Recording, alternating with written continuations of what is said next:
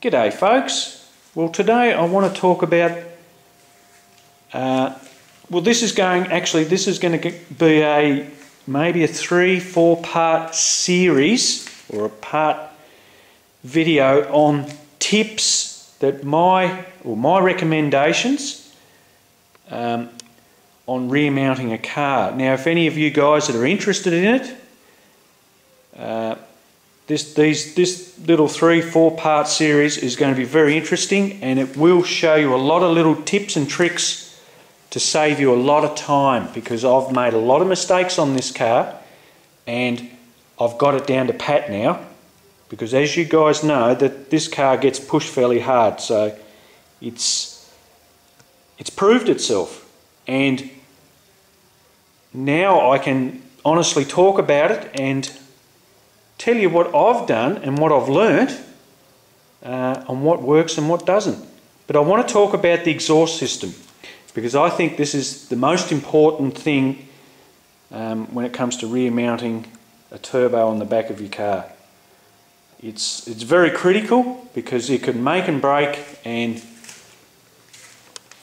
you know, it can be a complete failure, waste of money, and I want to talk about it. So First off, um, I've tried a few different things.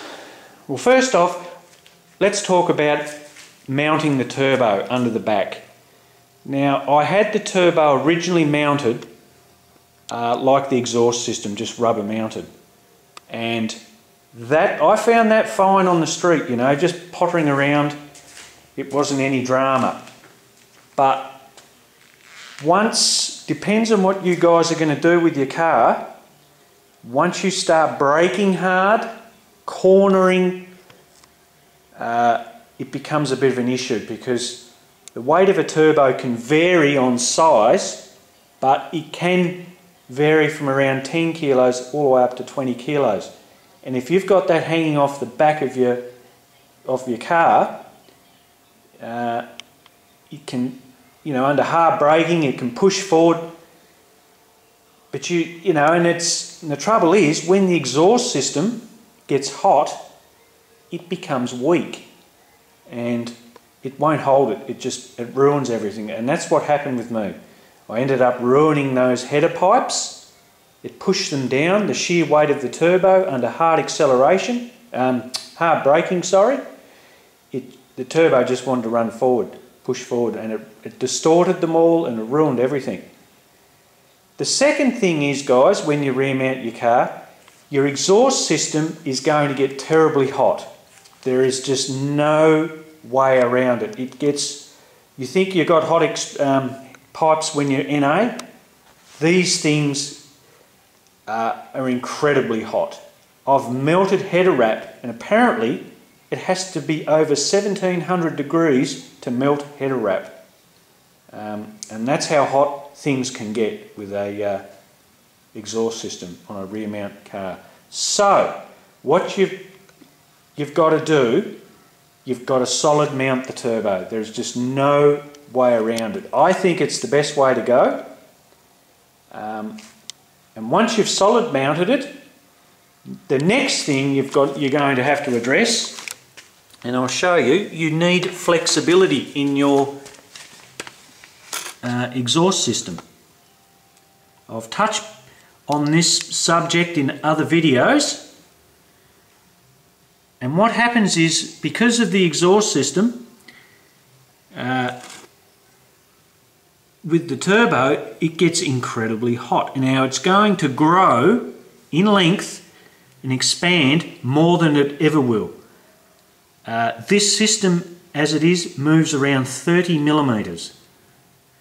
Now, those bellows that I've got there, they flex up to 20, mil 20 millimeters each.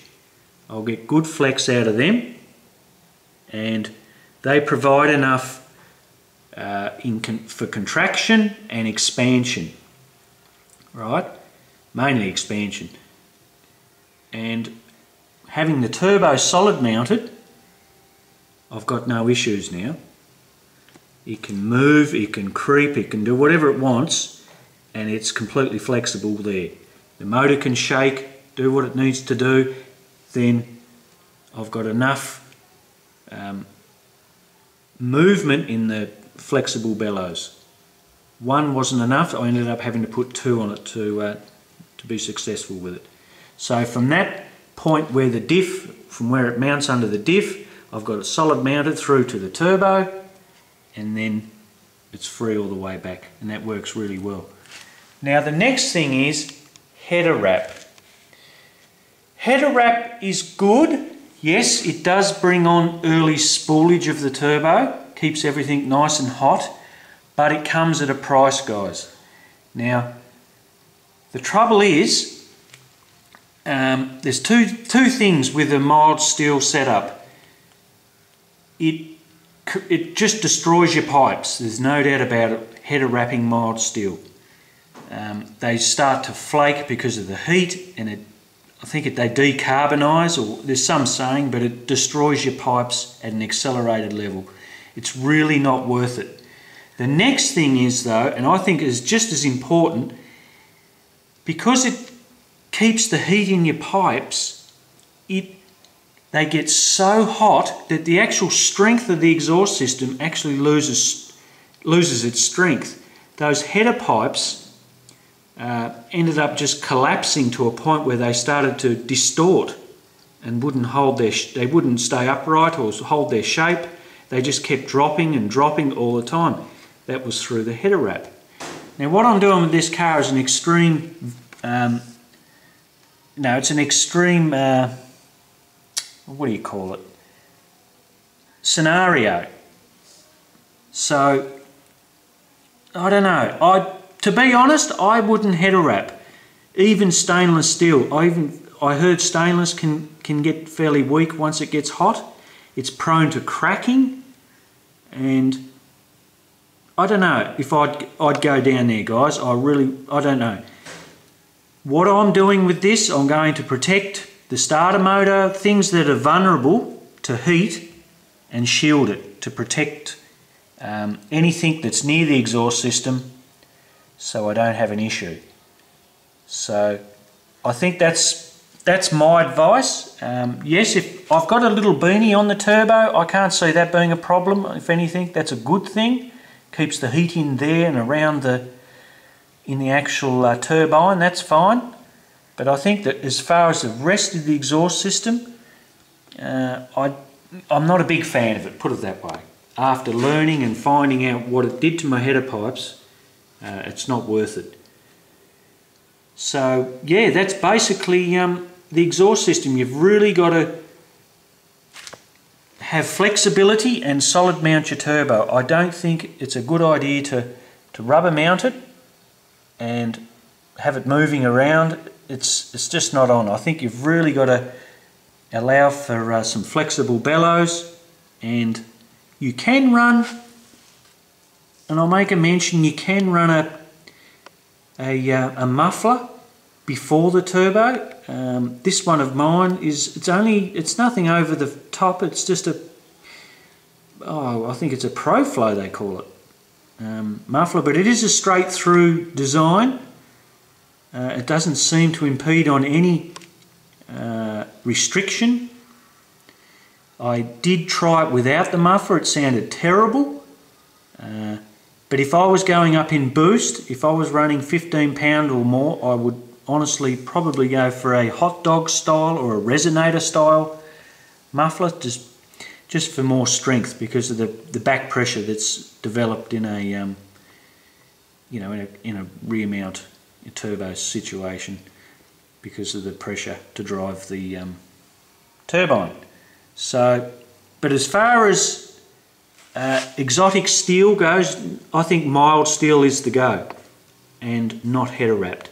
But you've just got to remember the heat that's going to be generated through a rear mount setup is, is incredible. It really is. So you have to be uh, pay attention to protecting everything that's close to it to make sure that you're not going to burn nothing or uh, catch on fire or anything like that. But other than that, uh, it's fairly... You can use your exhaust system, but you need to take some precautions. Like if that muffler had a uh, I think they're like a, what do they call it, where they run back and they're not a straight through design. I don't think that'd be real successful. You really want to go for a straight through design. So, and as far as tailpipe goes, you can put whatever you want on it. You can put a, a well, I've got a four inch stainless pipe on the end, and that's the beauty of it, guys. There's no back pressure out from the turbo. So, that's my little tips. Look, if you've got any questions, guys, don't uh, don't be afraid to ask. I'm more than happy to answer them to the best of my ability. And yeah, I think it. Um, look, I think whatever whatever system you've got on your car factory, it's going to work.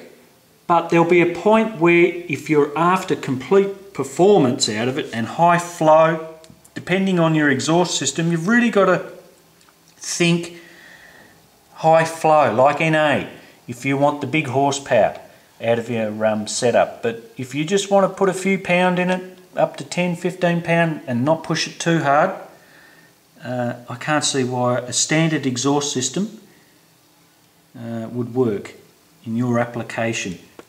Now my next vid, I'll talk about turbos uh, and the charge pipe. So that'll be an interesting one and what, to, what my tips are and, and to advice and where to put your um, reference line for your wastegate, all that sort of caper because that's quite interesting too.